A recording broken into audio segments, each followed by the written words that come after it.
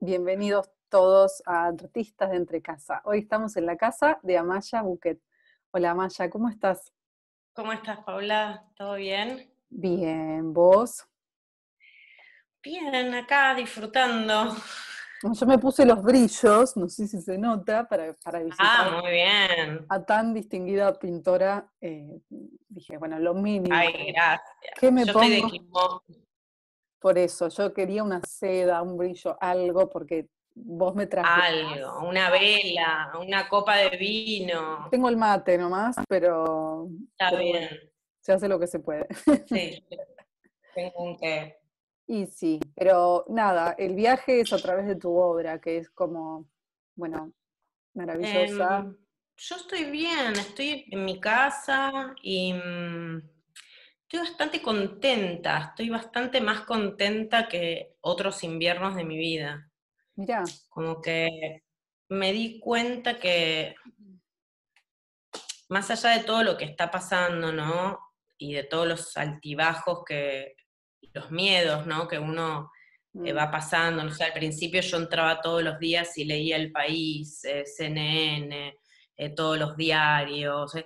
De repente me fui dando cuenta del nivel de, de manipulación de los medios, de que en realidad nunca va a haber forma de saber qué es lo que está pasando de verdad, de que tampoco yo puedo cambiar algo tampoco eh, con respecto a lo que está pasando. Entonces ahí solté y dije, bueno, ya está, me tocó esto, así como mi abuela vivió la Segunda Guerra, la dictadura y ahora esto, y a mí me toca esto nada más, me siento agradecida, qué sé yo, no sé, la claro, gente, la humanidad ha pasado por momentos realmente tan duros eh, que pretender que la vida va a ser una cosa estática y que nunca va a suceder algo así, es eh, hasta infantil pensar Claro. que toda tu vida va a pasar sin que, o sea, en la plena seguridad de que Claro. no va a haber un cambio, porque la Sí. vida es cambio constante y, y es sufrimiento, o sea, vos estás feliz con tu vida y de repente, pum, volantazo, se enferma alguien que amás, pum, volantazo, quebró tu negocio, pum, volantazo, te quedaste embarazada y no querías, pum, o sea, la vida todo el tiempo es un adaptarse y mm, entonces, más allá del miedo y la tristeza por las cosas que se vienen y, Mm. y de, mm, del horror de que todo parezca una ciencia ficción mala, Pésima. no me gusta la ciencia ficción, nunca Yo tampoco. No, no, yo A soy más de romance. y- Me gustan las películas de época, me gusta el género fantástico, Vi que sos fanática de, de Lo que el viento se llevó y Cumbres Borrascosas. época, viste, como que no, a mí la ciencia ficción no. Yo no soy de este siglo, nunca fui de este, fui de este siglo, siempre sentí que había nacido en el siglo equivocado. Entonces, estoy aprovechando ahora que este aislamiento en algún punto me permite volver a ese siglo al que creo que pertenezco, en el cual eh, hay más vida interior, Ah, mira. porque hay más tiempo con uno mismo, Mm, porque hay menos distracciones, menos distracciones porque no, ahora no hay tanto ocio, no hay consumo, no hay, bueno, ni comprarse ropa, ni salir a comer afuera, ni ver amigos, no hay distracciones, sos vos con vos. Claro, claro. En mi caso, yo vivo con mi hija de 5 años. Hay gente que vive con mucha gente, pero mi, mi realidad es que estoy sola conmigo. Claro. Eh, entonces, al principio fue duro, pero ahora estoy aprendiendo, ahora estoy bien, estoy contenta, Qué bueno. porque no tengo más ansiedad. Genial. Yo siempre viví, yo soy muy soñadora, tengo la luna en Pisces y tengo Yo también. ¿En serio? Sí, Qué amor. Bueno, muy soñadora, muy sensible, muy vulnerable, con eh, ascendente conjunción Neptuno, siempre viví volada, siempre fui la colgada, que Amaya, que es un cuelgue, siempre no tenés super yo, no podés, no te das cuenta que no llegás, que las responsabilidades. De repente estoy en un mundo en el cual no hay horarios, no hay responsabilidades, no hay que ser productiva en términos al resto de la gente.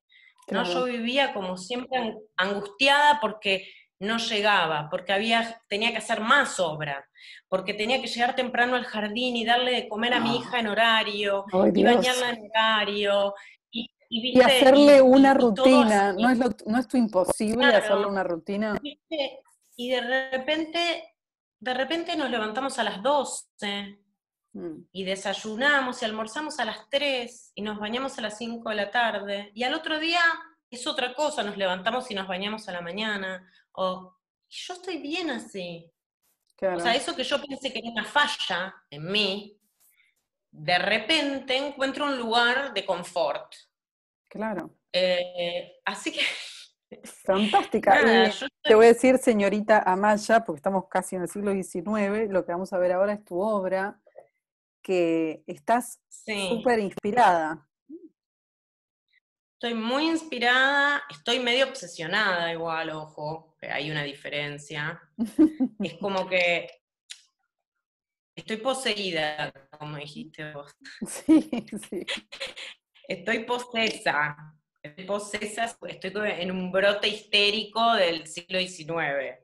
Es como que lo único que pienso es en la pintura, no pienso en chicos, no pienso en hombres, no pienso en sexo, no pienso en, mis amigos, no pienso en mis padres, no pienso en nada, lo único que pienso es en la pintura, todo el tiempo. Me voy a dormir y me, duermo pensando en la pintura, se me ocurren cosas mientras me estoy, durmiendo, me despierto en medio de la noche, anoto, eh, estoy todo el tiempo viendo documentales acerca de pintoras, pintores, leyendo, viendo tutorials para aprender a pintar, porque como que no puedo ir más al taller donde iba, yo estudiaba con Juan Ignacio Reos, como no puedo ir más y yo soy muy insegura, como que no tengo mucho miedo de la pintura, mucho miedo, terror, porque soy tan puntillosa y perfeccionista que todo el tiempo pienso que me voy a equivocar, entonces necesito a alguien que esté al lado, porque le digo, me da miedo, no, dale, pero va, no me da miedo, lo voy a arruinar, lo voy a arruinar.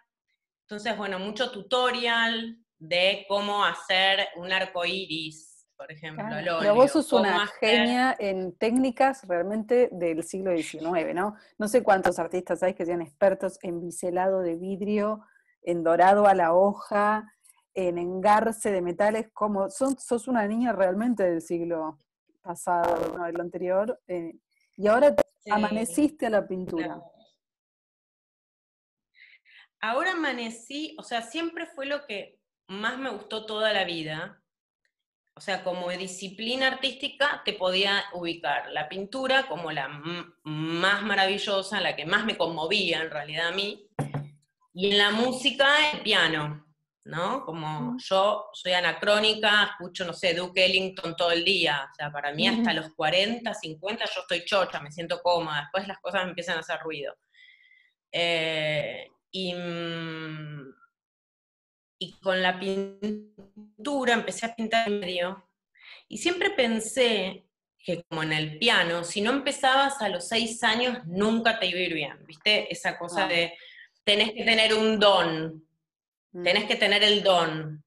Como no, bueno, están en los que pintan, que son maestros y tienen un don. Yo no lo tengo, ya soy grande, ya está. Y hace 10 años me fui de viaje a Londres porque me gané una beca y me iba a estudiar joyería con una mina que me gustaba un montón y, eh, ¿cómo se llama? A St. Martin's eh, College y me iba a estudiar bordado de alta costura con una mina que trabajaba para Chanel. Todo tipo, wow.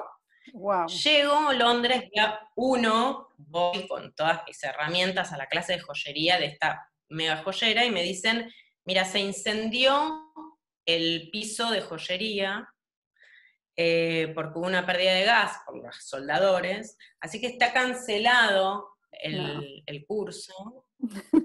Así que no, no vas a poder hacerlo. Yo le digo, mirá, o sea, crucé todo el Atlántico para llegar acá, hasta, hasta acá, para hacer esto, tipo, tuve que pedir una beca, ¿entendés? No, bueno, no podemos hacer nada. Quedan todos estos cursos.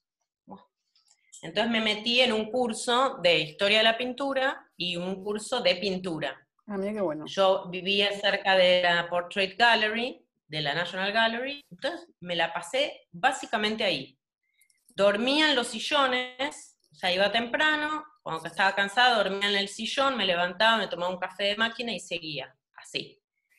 y, y miré mucha pintura y ahí aprendí un montón. Y volví, esto hace 10 años, ¿eh? y me puse a mm. pintar. Y habré hecho, no sé, 10 pinturas, una cosa así, pero no sé por qué, de alguna manera me sentí frustrada y lo dejé. Y, no sé, no sé cómo volví, no, ni me acuerdo cómo volví. Podemos, ver, podemos ver las imágenes, mira, espera. Sí, obvio. Vamos a ver un poquito para que porque esto es primicia, primicia ya de artistas de entre casa, el trabajo de Amaya. Acá está. Ah, le voy a sacar así podemos hablar. Mm. Estás pintando. Sí, habla, habla. Maravillosamente, ¿no? Eh, Eso es una pintura y arriba de la pintura estoy con un papel calco dibujando lo que después voy a tallar en el vidrio.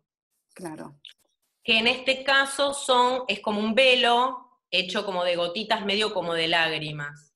En ese video se ve mejor como la técnica, ¿no? Como, como está la pintura, que es sobre tabla, y ahí está el cristal que está tallado, entonces al ponerlo encima de la pintura, bueno, genera sombras, volumen. Claro, es como el, el, engarce con tu obra anterior, si me permitís la, redundancia, ¿no?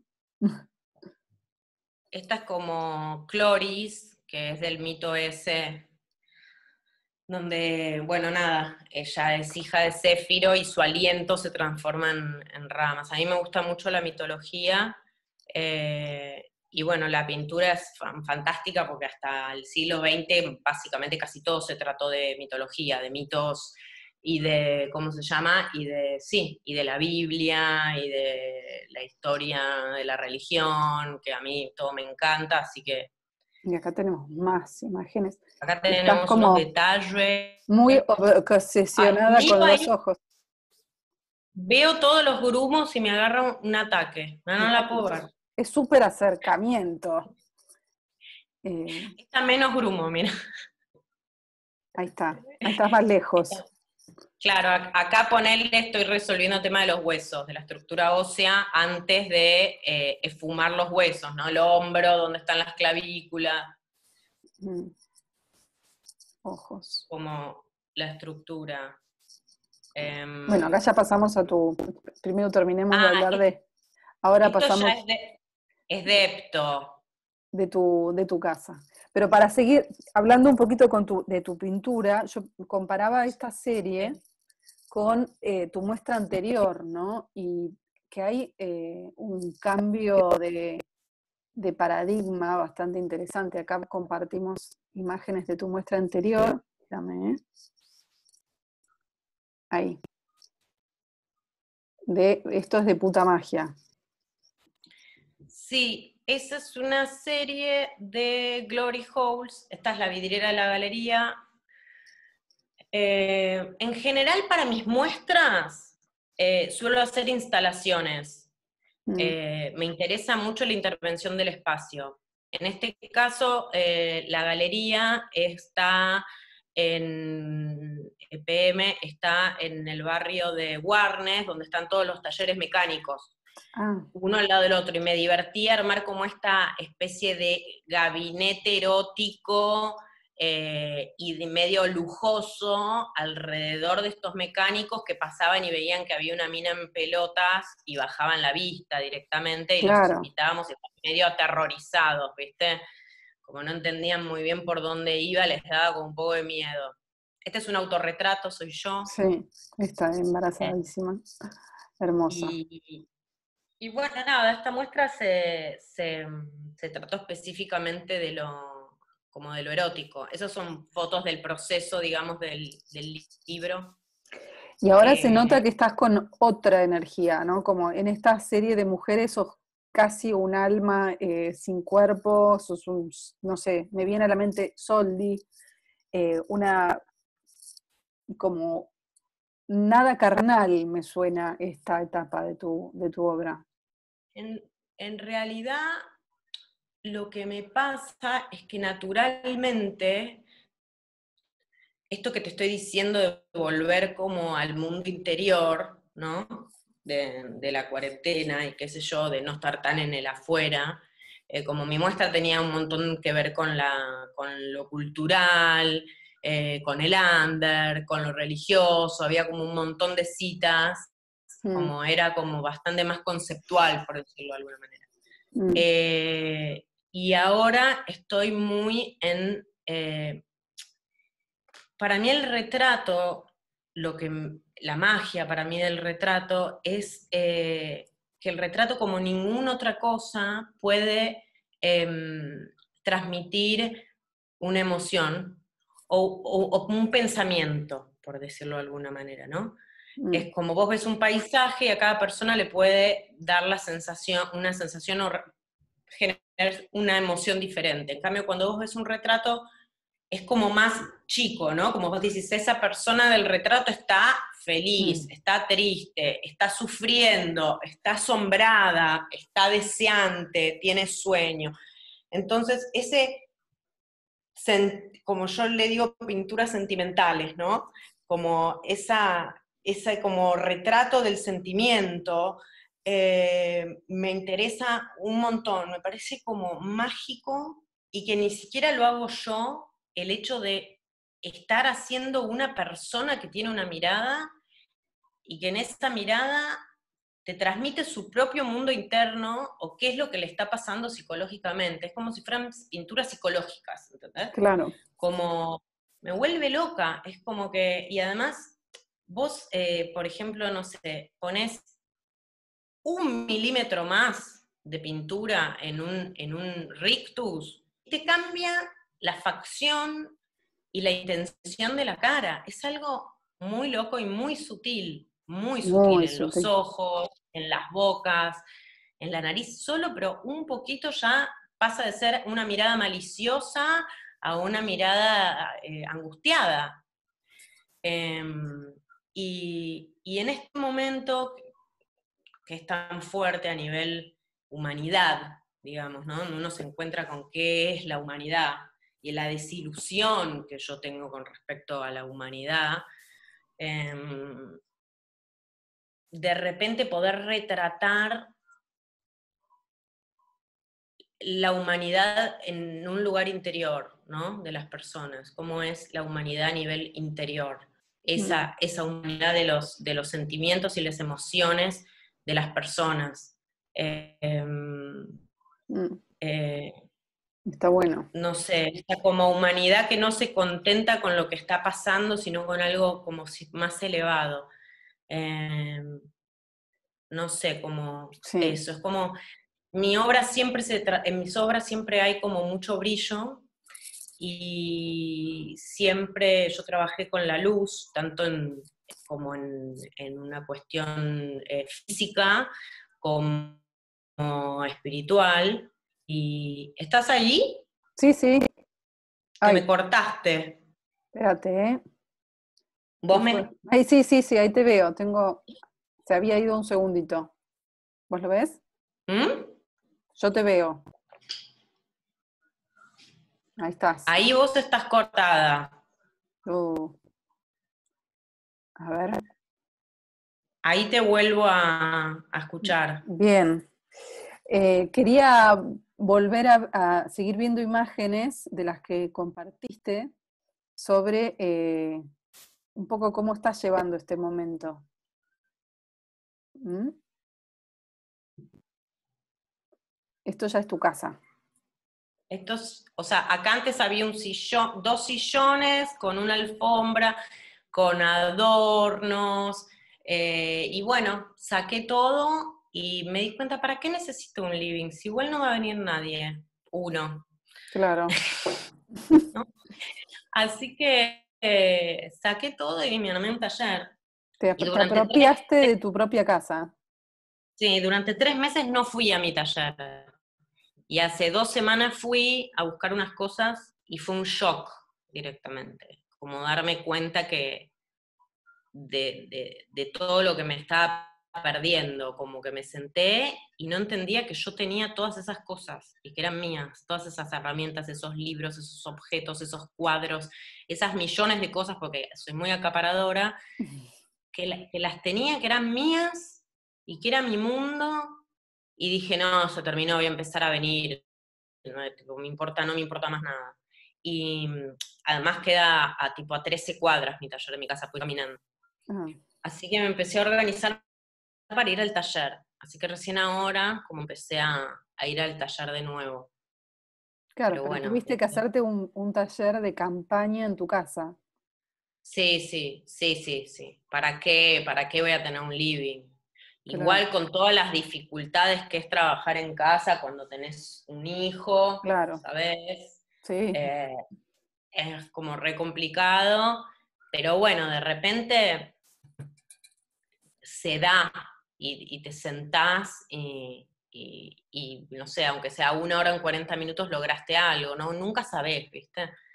Como a veces estás todo el día luchando con algo de la pintura y no te sale en el taller y a veces estás en tu casa con el café con leche en la mano y agarraste el pincel con la paleta medio seca y resolviste algo en un segundo sin darte cuenta. Entonces claro. bueno siempre tenerlo ahí como bien a mano. Bueno, yo esta eh. mañana estaba escribiendo una nota larga en la cocina y de golpe, bueno, dije, hasta acá llegué, me pongo a cocinar y pelando papas, dije, ah, encontré la frase que me faltaba. Es como que por ahí haciendo otra cosa diferente eh, eh, se, se, destraba una laguna.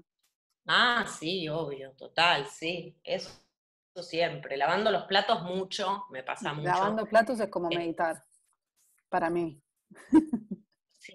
Y después manejando, manejando, que ahora no lo estoy haciendo y extraño mucho, a mí me gusta mucho manejar. Eh, manejando, agarrar libertador y darle, darle, darle, darle, darle. Y ahí entro con una especie de estado, eh, no sé, donde el subconsciente empieza como a aflorar y, me voy haciendo audios, tú, tú, tú, tú, tú, y llego a buenos lugares ahí con el tema del auto. Claro. Em, como que en realidad siempre es hacer un trabajo mecánico. Mm, claro, que deje la cabeza en off. Claro, exacto. Hace mientras, o la gente mucho le pasa cuando sale a correr. Eh, al hacer un trabajo mecánico permite como al, cerebro que salgan otras cosas y está bueno. Sí, acá vemos que, cómo trabajás como una científica, pareces, con la cantidad de luces y Lupa, es una lupa lo que tenés puesto. Sí, es una lupa de joyero, ya, es medio tipo enfermo mental igual, ¿eh? Viste, eh, yo cuando trabajo me hace acordar a, viste, em, Volver al Futuro. Sí, lo estuvimos viendo ahora en cuarentena. Bueno, viste, Doc, bueno, yo soy medio él. Como que cuando termina el día me miro en el espejo y estoy toda despeinada, tengo toda la cara pintada con óleo, la marca de los, esos anteojos subidos con la marca en la frente de los anteojos. Preciosa. Eh, y, sí, medio, medio, medio una, medio una loca. Ahí estoy sacando pelos que se pegan a la pintura. Ah, mira. Que no, no soporto. Grumos y pelos que se pegan en la pintura y. No. Porque al estar pintando sobre tabla, es muy distinto pintar sobre tela que sobre tabla. La mm. tabla es totalmente lisa, entonces todo se nota. Claro. En cambio, en la tela no se nota tanto las, los pelos y esas cosas. Es una lucha contra los pelos. La lucha de los pelos. Sí, los grumos, sí, sí, me pone Ahí vemos otra parte de tu taller eh, inventado. En mi casa. sí, ahí estoy con una referencia de Petrus Christus, mm. eh, haciendo un retrato. Mm. Eh, ahí está el retrato. Sí, que igual, nada, recién está empezado, no tiene boca, no tiene nada todavía. Claro, no, pero vemos y cómo arriba, Donde, arriba donde está todo ese pelo, ahí va a ir toda la trama del cristal. Tú, tú, tú, tú, tú, tú, tú, va a ir ahí mm. arriba. Empezás por los ojos, por lo que veo. Como una peluca. La boca estaba, pero la, la, la borré porque no me gustó cómo quedó, ah, en realidad. Mm. Este, no, no la seguí, no, pero le faltan, no tiene nada. Acá están algunos retratitos. Divinos, divinos, divinos. De estos seres. El alcohol en gel y la luz que atraviesa el alcohol en gel, el alcohol que se transforma en una especie de joya luminaria eh, claro. Eh, o sea, ¿quién, o sea, poder ver la hermosura en el alcohol en gel ya es como una locura. Es mucho, eh, te digo, es mucho. acá me encantó. Acá estabas un poco podrida, me parece, el temita. Sí, acá pasa que ya no me identifico más con el género humano, ¿viste? Claro, acá ya mutaste. Ya dije, mira, la verdad quiero ser duende. Estoy más cerca del duende que de la persona. Siempre lo te autopercibís, te autopercibís duende en este momento. Duende. Después de grande tuve que como amoldarme un poco y transar un poco para no ser tan duende. Mm. Pero ahora me doy cuenta que te puedes hacer la cirugía de las orejas. Ay, lo sabes. Así que en cualquier momento ya le escribí a Tedesco. No sé, si hace falta, pero. Ya le escribí a Tedesco. Sí. Bueno, y acá está tu chinita, tu chinita también. Mi, china también viene del mundo de los duendes. Ella está más cerquita. Ella está todavía está más cerca. Qué linda, qué linda con su perro. El perro es otro laburito, ¿eh?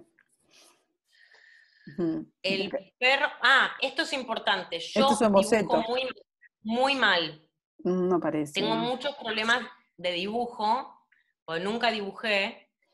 Eh, más figura humana, figura humana es algo difícil porque tiene muchas proporciones, ya de por sí, ¿no? Como que uno mm. puede dibujar un árbol y nadie te va a decir que está más alto o más bajo, pero si vos dibujas una cabeza, la gente te va a decir si tiene un ojo más arriba o más abajo, se lo da, cualquiera se da cuenta. Sí. Entonces, aunque parto de dibujos muy primitivos, mm.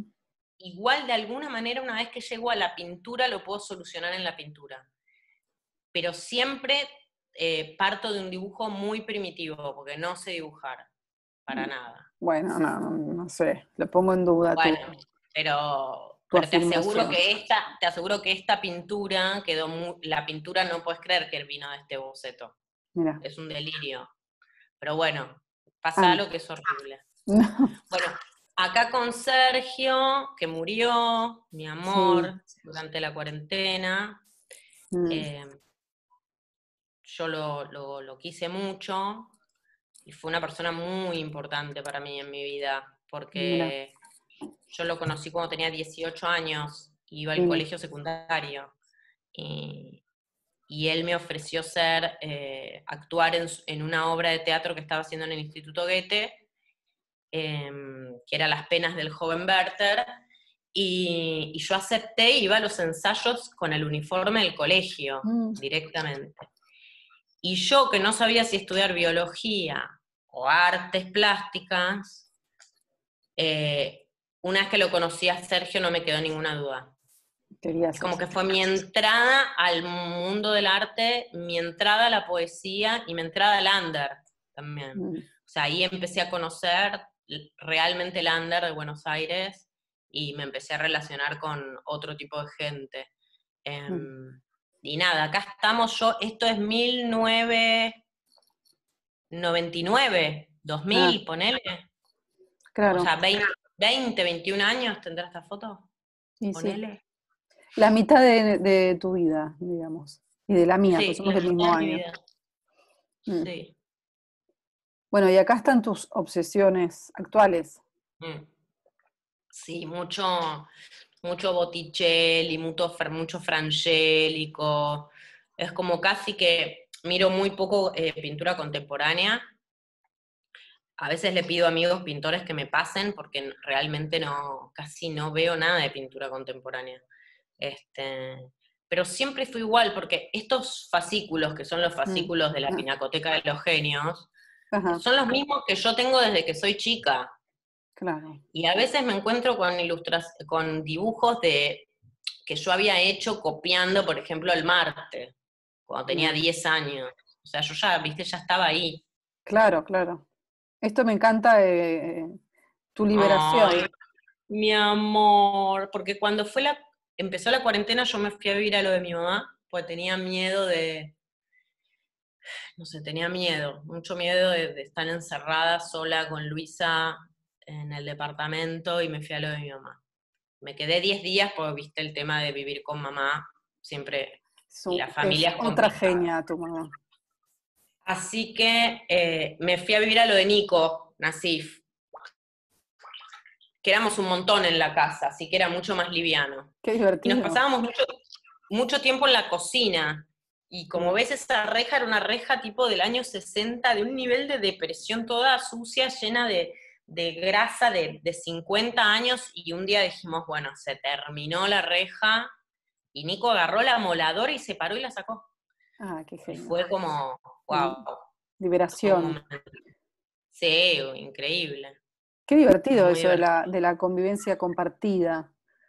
Porque se pudo hacer en un momento y después ya se súper cerró todo y ya donde te había agarrado te tenías que quedar, era medio complicado. A mí igual mucho eso no me importó. Yo agarré un bolso, o sea, siempre ante todo, prioridad la salud mental. Claro, bueno, sí. Tipo, no va a pasar nada si estoy en lo de mi mamá, agarro un bolso y me tomo un taxi a lo de Nico. O sea, tampoco eh, estamos en Chernobyl, ¿viste? O sea, claro. tranca. Así que nada, me fui y él al estar con sus hijos, su mamá, su hermana, era mucho más dinámico y más fácil. La verdad es que fue el mejor mes, nos cagamos de risa. Claro, pero no pudiste pintar nada, me imagino. No, no, pudiste pintar ni, ni conectarte con tu interior, estabas como... no, pinté un montón. Ah, sí, eh, genial. Nico tiene el taller ahí. Ah, qué bueno. Sí, no, pinté un, pinté un montón. Las obras de, de Art sí, las pinté ahí. Qué genial. yo todo hice en cuarentena este año, en enero y en febrero no hice nada. Qué bueno. Y, y nada, después me di cuenta que extrañaba mi casa y vine un día a buscar cosas a mi casa y dije, bueno, me quedo una noche, después me quedo dos noches y después no me fui más. Te encontraste. Acá te, hiciste una escapadita a, Palermo. Acá me hice, yo vivo cerca de Palermo y acá me hice una, escapada. Mm. Eh, muy difícil estar lejos de la naturaleza. Uf, muy difícil. Sí, sí. Eh, muy difícil. Realmente estoy pensando y evaluando en irme de capital de nuevo, una vez más. Em, ¿Dónde viviste? En Chapadmalal. En, ah, qué lindo. En el campo. Mm. Y mm, porque además si en la ciudad ya no puedes ni caminar en la ciudad, ¿para qué voy a estar viviendo dentro de un departamento? Claro. Así que bueno, vamos a ver qué pasa, pero no sé, como que mm. necesito un poco, bastante la naturaleza. ¿Y esto qué es? Esto es parte de la muestra de puta magia, eso está ah. marcado, es un sigilo. Eh, yo trabajo un montón con magia, desde siempre, desde que soy chica. Mm, acá vemos también tarot. Sí, esa es una tirada. mira, justo esta tirada era la tirada de si me convenía o no me convenía mudarme. ¿A Chapamalal? no ahora de, mi casa, de irme a vivir a Córdoba, irme a vivir a algún ah. como dejar la ciudad. Y yo no entiendo bien, me, las tira mi hermana, pero no entiendo bien qué significa, qué te salió, que está bien o está mal. En el, en el, en el presente, que es la carta del medio, me tocó el ermitaño, o sea, una persona que está para adentro. Mm. El guante celeste habla de una persona eh, que se está firmando de manera espiritual, ¿no? Es una carta muy espiritual, porque es el ermita. Mm. Esta carta viene del pasado, donde está el colgado. El colgado es una persona que está amarrada, está restringida. Mm. O sea, vengo en un pasado que son los últimos meses en el cual estás, estuvimos todos restringidos. Todos. Y sí, obvio. Ahora pasé de esa inmovilidad y de esa restricción a ser el ermita. Bien, claro, esto que contabas recién. Y de la ermita paso directamente al Maison Dieu, o sea, yo estoy tirando acerca de mi casa y me toca la casa Dios, donde ves dos personajes que directamente saltan de, de, una, de una torre, ¿no? Mi pregunta es, ¿me mudo o no me mudo? Y te salen dos personas que saltan de una torre y hay como una explosión de alegría, así que claramente es, te tenés que mudar. ¿no? Porque ya sin interpretar la carta, solo interpretando el dibujo, mm. que además se llama La Casa Dios la carta, solo interpretando el dibujo te das cuenta que son dos personas saliendo y tirándose de ese edificio, de esa torre, se están tirando de un edificio directo a las plantas. Listo, chao. Chao, te fuiste, Amaya. Ni nos vimos. Bastante, bastante clara esa tirada. Bien, ya más o menos tenés una idea. Entonces, bueno, acá dejo de compartir. Ahí estamos. Bueno, Amaya, muchísimas gracias por este paseo por tu vida y tu obra y tu inspiradora cuarentena. Eh, hermoso visitarte así. Eh. No, muchas gracias a vos. Este, y bueno, nada, qué bueno también que tengas vos eh, un proyecto mm. em, que estés haciendo. Así semanalmente, porque sin los proyectos, viste, es como. No, estaría ahogada en la vida doméstica. Y además en contacto con. Sí, no, no, el tema de la vida doméstica no, por suerte no lo tocamos. Eh, bueno, nada, te mando un beso. Bueno, muchísimas gracias. Un beso enorme y seguimos en contacto y viendo cómo evoluciona tu obra, que nos me fascina todo lo que compartís ahí en las redes y eso, así que te seguimos viendo. Beso bueno, Gracias. Te mando un besito. Chao, chao.